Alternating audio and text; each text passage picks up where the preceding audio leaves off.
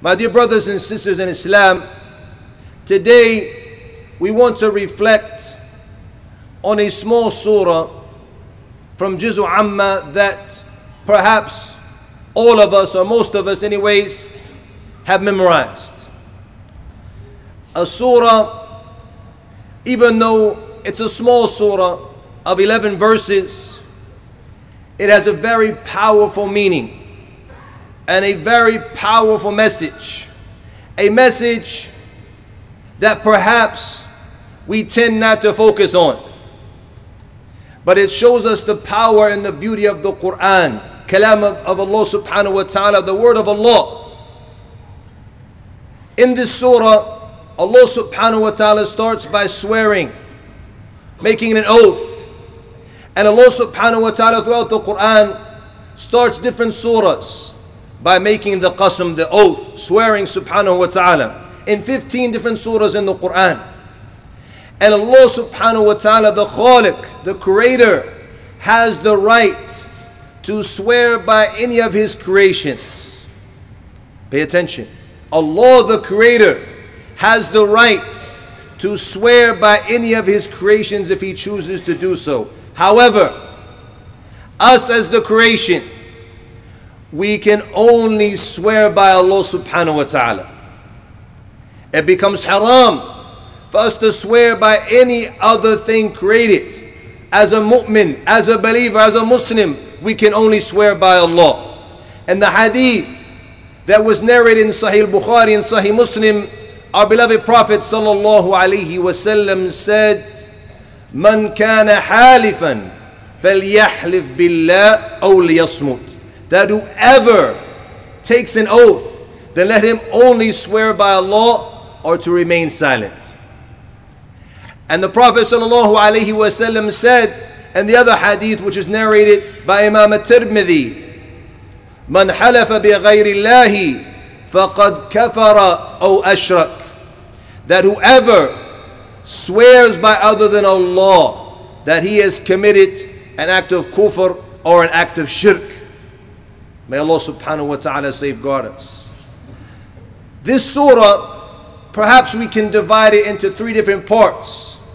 The first five verses, Allah subhanahu wa ta'ala starts by saying, وَالْعَادِيَاتِ ضَبْحًا Swearing by the racing horses, al-adiyat. ضَبْحًا, which is the sound which comes from inside the chest of the horse as it's racing at full speed. And subhanAllah, some researchers found that the horses, when they're striving and running at top speed, that they breathe up to 150 times per minute, a 2.5 breaths per second. That's when they're going at top speed, racing. And Allah subhanahu wa ta'ala is swearing by this as we're hearing this and we're picturing and we're visualizing these five verses. وَالْعَادِيَاتِ ضَبْحًا The horses that are racing, they're panting, breathing heavily. فَالْمُورِيَاتِ قَدْحًا And the ones who are producing fire from the sparks which is coming off their hoofs. And subhanAllah, pay attention how the first two verses and the first verse, Allah is talking about the sound which comes from inside of the chest of the horse, which is capturing our ears. It's making us listen and pay attention to what is being said. And in the second verse, Allah subhanahu wa ta'ala is describing the sparks which are flying from the hoofs of the horses as they're racing into the battle, as the hoofs are hitting onto the rocks, and the fire from the sparks is flying from their feet, thus capturing our eyes and making us pay attention and visualize what's happening now. These horses are racing. The ones who raid at the time of dawn, the early morning raids. And this was the sunnah of the Prophet wasallam when he would surround a city or he would surround a village wasallam, he would wait till Fajr time. If he heard the adhan, alhamdulillah, that meant they had entered into Islam and he would not fight them. But if he didn't hear the adhan, then he would raid with the Sahaba radiallahu anhum. فالمغيرات صبحا فأثرن به نقعا So they produce, as they're racing in, large clouds of dust. فأثرن به نقعا فوسطن به جمعا And then they come to the middle, meaning the middle of their enemy. Imagine, as we're visualizing this scene, and how amazing it is, the detailed description of what it is when these horses dive into the middle of the battle and the difficulties that these horses are facing. Look how heavy he's breathing. The sparks, the fire is flying from under his feet, from under his hoofs. And as he's going in in the early morning hours, perhaps traveling long distances in order to prepare for this battle, the horse is tired. And yet, it's going in, and what is it? Is it breathing fresh air? It's breathing naqa, it's breathing clouds of dust. And then it's in the middle of the battle as the swords are hitting one another. He's hearing the sounds. The spears are flying, arrows are flying, bodies are falling, but yet the horse is right there in the middle of the battle. An amazing description. Now comes the question why did Allah subhanahu wa ta'ala swear by these horses? Why did Allah mention this in detail for us? The difficulties and how this horse is striving. Why is this horse striving like this? To please its master, to please its owner, the one who feeds him and the one who gives him water. That's it. We take care of the horse, and then the horse takes care of us. But what is the message that Allah is trying to teach us here? It comes in the next part and the next three verses, from verses 6 to 8. إِنَّ الْإِنسَانَ لِرَبِّهِ لَكَنُوتٌ That indeed mankind to his Lord is kanud. He's ungrateful. What is the relation? as we're focused on this battle, these horses racing into the middle of the battle, this amazing scene. What is the relation between these first five verses that Allah is swearing by and then the answer which comes in verse number six? Innal insana li rabbih What is the relationship between? Somebody might say there's no connection, but in fact there's a direct connection and a direct relation because Allah subhanahu wa ta'ala is showing us the obedience of these horses to their masters, to their owners. So, what about you, O mankind? What about you in the obedience to Allah subhanahu wa ta'ala? All we did was give them water and hay. We gave them some food. And the horses, that's how they strive for us. They risk their own life for us. They go through those difficulties for us. So what about Allah subhanahu wa ta'ala and all of the good and all of the blessings and all the barakah that He has given us? Should we not strive for Allah subhanahu wa ta'ala? Should we not be obedient to Allah subhanahu wa ta'ala just as this horse is obedient to its, to its owner? Allah subhanahu wa ta'ala is our owner. Allah is our maker. Allah is our master. So doesn't He have the right to be worshipped? Just look at yourself and your body. Allah subhanahu wa ta'ala didn't just provide for us food and drink as we're providing for the horse. Look at our body our ability to see, our ability to hear, our ability to taste. All of these that Allah subhanahu wa ta'ala has blessed us with. The ability to breathe. If Allah took the oxygen from us, what would happen? What about the red and white blood cells and what's going on in our body? Something amazing from the creation of Allah subhanahu wa ta'ala. But yet, are we obedient to Allah subhanahu wa ta'ala? Is this animal is this horse better than us? This is the question that's being asked. This is what Allah subhanahu wa ta'ala wants us to reflect upon in this surah. After He mentions this great battle, this great struggle of the horses for their masters, Allah tells us about the reality of al insan, of all of mankind, and all throughout the Quran. And pay attention to this. When you reflect on the word al insan in the Quran, in almost every single ayah, Allah mentions something negative about mankind after He talks about al insan. Because this is the reality of the human being. Wal asr, innal insana لَفِي خُسْرٍ That indeed mankind, all of mankind is in loss. And then Allah makes an exception to the rule in the third verse. إِلَّا الَّذِينَ آمَنُوا وَعَمِلُوا الصَّالِحَاتِ to the end of the verse. Except for those who believe and do good deeds. When you look in Surah Al-Ma'arij, إِنَّ الْإِنسَانَ خُلِقَ هَلُوعًا That indeed mankind has been created anxious, impatient. إِذَا مَسَّهُ الشَّرُّ جَزُوعًا That if evil comes to him, evil touches him, he becomes impatient. وَإِذَا مَسَّهُ الْخَيْرُ مَمْنُوعًا That if the khair comes to him, he's withholding from it. He holds it back for himself. He doesn't want to give it to anybody else. This is the reality of an insan. When Allah subhanahu wa ta'ala in Surah Ibrahim, He talks about all of the blessings that He's given to us. When tu'uddu ni'matallahi la tuhsuha. That if you were to enumerate the blessings of Allah, you would not be able to count them.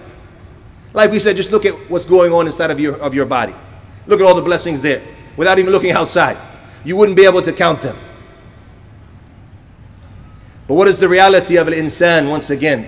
What is the reality of a human being? That the human being, Mankind is zalum. he's oppressive, and he's kafar, he's ungrateful. This is the reality of mankind. And then Allah said in the next verse, in verse 7, وَإِنَّهُ عَلَى ذَلِكَ لَشَهِيدٌ That mankind bears witness to that. He knows. None of us deny this, that we are ungrateful to Allah subhanahu wa ta'ala. And then Allah mentions another reality in verse 8 of all of the, uh, mankind. وَإِنَّهُ لِحُبِّ الْخَيْرِ لَشَدِيدٌ That he is for the love of the khair, of the money, shadid, meaning that he loves it intensely. He loves the money. And Surah Al-Fajr, وَتُحِبُّونَ الْمَالَ حُبًّا جَمًّا That you love the money with intense love, with much love. This is the reality of every single human being, that they love money. and Surah An-Nisa, وَأُحْضِرَتِ الْأَنفُسُ الشُّحْ That it's in the soul of every single human being, stinginess. Not just love. Not just love for the money, but love with stinginess. This is the reality of all of us. But what did Allah subhanahu wa ta'ala tell us in Surah Al-Taghabun? وَمَن يُوقَ شُحَ نَفْسِهِ فَأُولَٰئِكَ هُمُ الْمُفْلِحُونَ That whoever, whoever overcomes the stinginess that's inside, that they are the muflihun, they are the successful ones. This is the reality of all of mankind as Allah mentions in these three verses. And something amazing when you look at the verses, and every single one of them, there's two ta'keeds in the inna and the lam. All of the verses are the same. Inna and lam, which is double ta'keed, double emphasis to emphasize the reality of mankind. And then part three of this surah comes أفلا يعلم إذا بعثر ما في القبور Do they not know of that time when it will come when they be sent forth from their qubur? And why does Allah subhanahu wa ta'ala, after mentioning the reality of mankind, mention the reality of the ba'th, of being sent forth from the qubur, from the graves, Yawm al-Qiyamah? We'll mention that in a minute. وحصل ما في الصدور and everything which is in the hearts of man will then come clear. There'll be no hiding it then. Yawm al Qiyamah, when you're sent forth in front of Allah subhanahu wa ta'ala. As Allah told us in Surah Al Tariq, Yawma tubla sarair, the day when what's inside will be tested. The reality of what's in your heart is going to come out. And what is the reality of man when he's being tested of what's in his heart? فَمَا لَهُ مِن قُوَّةٍ وَلَا نَاصِرٍ that he will have no strength and no supporter on that day. إن ربهم بهم يومئذ لخبير that indeed their Lord is well acquainted on that day with all of what they've done. And once again, Allah subhanahu wa ta'ala gives us a double ta'keed, a double emphasis with the inna with the lam that Allah is khabir, well acquainted. And the khabir from the names of Allah subhanahu wa ta'ala, it's more in depth than the alim.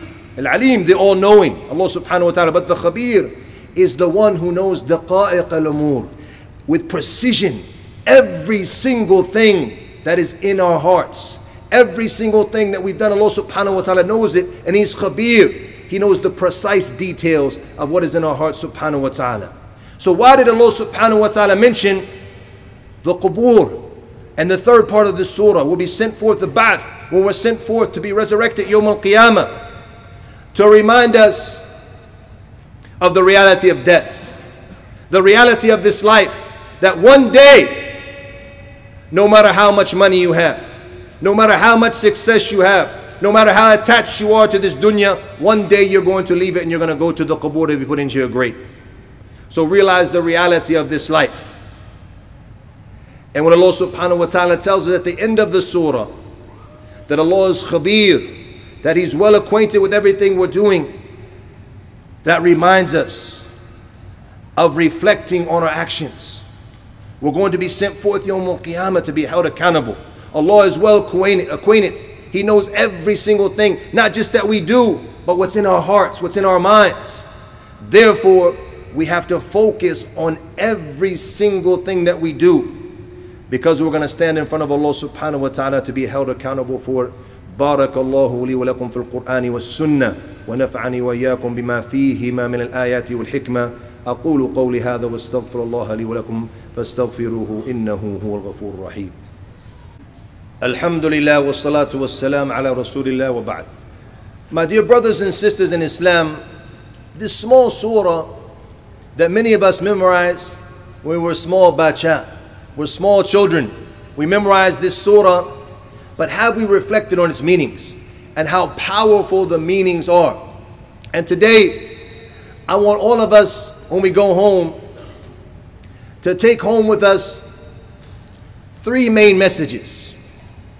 First of all, when it comes to the first five verses, when Allah subhanahu wa ta'ala is describing for us in detail the battle and the horses, how they're striving to battle, what do we gain from this? What is the real message? It shows us, obviously, the status of horses. And we have that many hadith of the Prophet wasallam, and the status of fighting in the path of Allah subhanahu wa ta'ala. And it shows us the importance of obedience to Allah subhanahu wa ta'ala and striving and racing for Allah. And this is what it means to be a believer. Look at the horses, how they sacrifice themselves, sacrifice their lives, go through difficulty for their owner, for their master. This is how we need to be as believers, being obedient and striving and racing for Allah subhanahu wa ta'ala. What does Allah, how does Allah describe the statement of the believers? إنما كان قول المؤمنين إذا دعوا إلى الله ورسوله ليحكم بينهم that if the statement of the believers is if they're called to Allah and His Messenger to judge between them. You're called, meaning to act upon the Quran and the Sunnah, to implement the rule and the command of Allah and His Messenger. Sallallahu Alaihi Wasallam. What is the statement of the believers? Just like the horses, no hesitation, right to the middle of the battlefield. What is the statement of the believers? أيقول سمعنا وأطعنا to say, we hear and we obey. And these are the ones who will be successful. The ones who strive and dive straight in and implement the command of Allah subhanahu wa ta'ala without any hesitation. And the second message that we need to take home and reflecting on these verses in the second part of the surah when Allah described to us the reality of mankind that he's kunud, he's ungrateful, and that he's to the khair, to the money, and he has intense love for the money. This is a reality. But is it a good characteristic? It's a characteristic that Allah has put inside of us all to test us, to see what we're going to do it. وَمَن يُوقَ شُحَ نَفْسِهِ فَأُولَٰئِكَ هُمُ الْمُفْلِحُونَ And whoever overcomes the stinginess within himself, these will be the muflihun, the successful ones.